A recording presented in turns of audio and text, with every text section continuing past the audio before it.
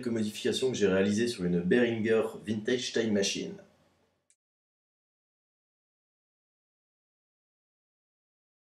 Alors une des premières choses qu'on fait avec cette pédale, c'est jouer avec les boutons alors qu'on est en train de jouer avec la guitare. Et sur le délai, vu que c'est un délai analogique, ça donne ça.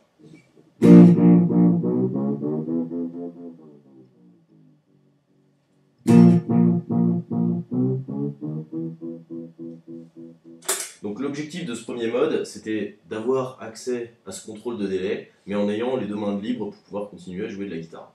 Donc j'ai rajouté une petite connectique neutrique sur le côté qui sert à brancher une pédale d'expression. Et donc, dans ce mode-là, le bouton de délai n'agit plus du tout, et c'est la pédale d'expression qui commande le délai de la guitare.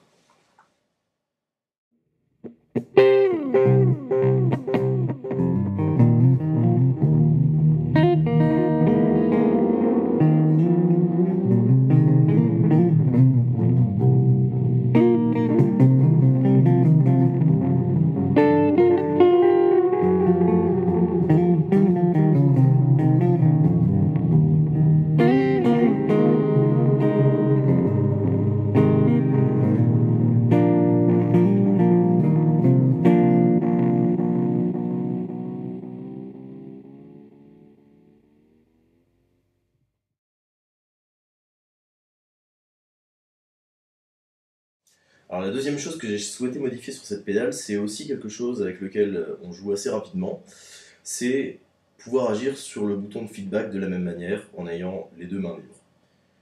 Donc, en temps normal, ce qu'on arrive à faire avec le feedback,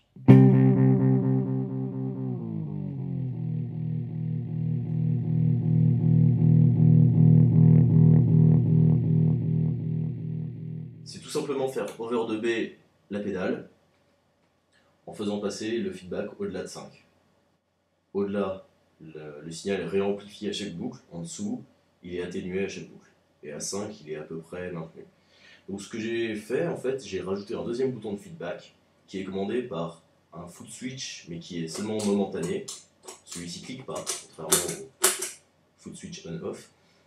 Euh, et donc, par exemple, ça vous permet de mettre le feedback original à 4 et quelques, et le feedback secondaire, par exemple 7 ou 8.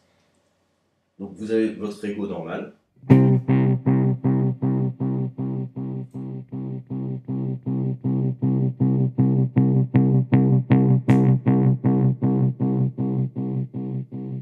Et dès que vous appuyez sur le bouton feedback, ça active ce potentiomètre feedback ici, et celui-ci n'agit plus.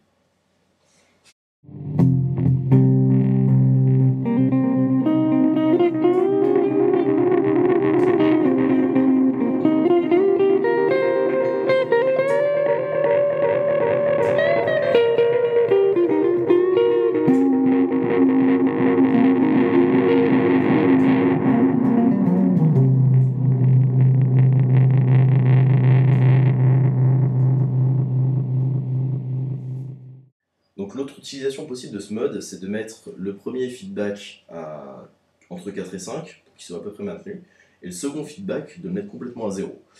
Donc quand vous appuyez sur le bouton poussoir pendant juste une seule boucle, ça va vous effacer votre boucle. Et une des utilisations possibles, c'est de créer une certaine ambiance dans une certaine gamme qui vous permet ensuite d'aller taper en solo dans cette gamme. Et quand vous rappuyez sur le bouton feedback, ça va effacer toute cette ambiance pour en créer une nouvelle et qui va vous permettre de changer de gamme.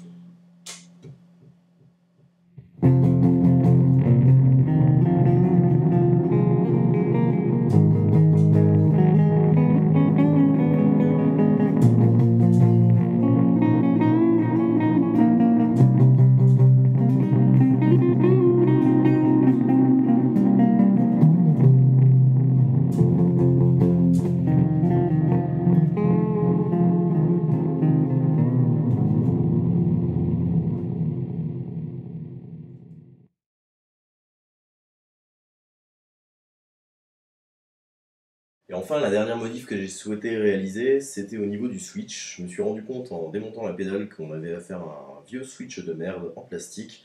J'ai remplacé ça par un véritable foot switch. Et euh, je me suis aussi rendu compte que la pédale n'était pas en true bypass, enfin ça s'entendait déjà en fait. Exemple tout simple, si on joue quelque chose et qu'on active la pédale directement après,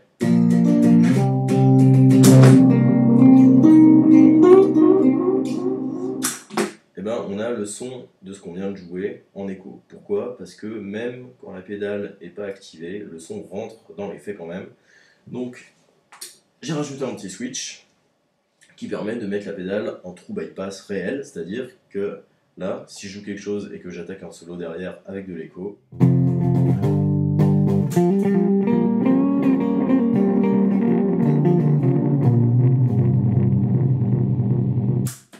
son de l'écho et pas le son de ce que je viens de jouer. Voilà, j'espère que j'ai été assez clair dans toutes les explications que j'ai pu donner sur ces modifications. Si vous avez encore des questions, il y a les commentaires en bas. N'hésitez pas à souscrire à ma chaîne. Et à très bientôt.